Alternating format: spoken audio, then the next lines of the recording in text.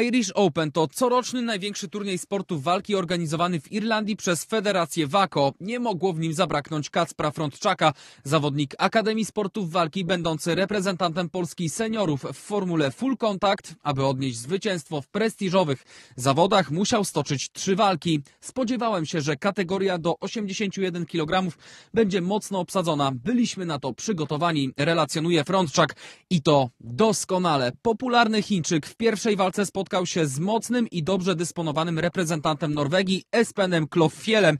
Walka początkowo była dość wyrównana, ale zielonogórzanin doprowadził w drugiej rundzie do liczenia rywala. Dalsza część walki była już pod jego kontrolą, a sędziowie przyznali mu jednogłośne zwycięstwo na punkty. W półfinale Frontczak zmierzył się z Wiktorem Frochlichem.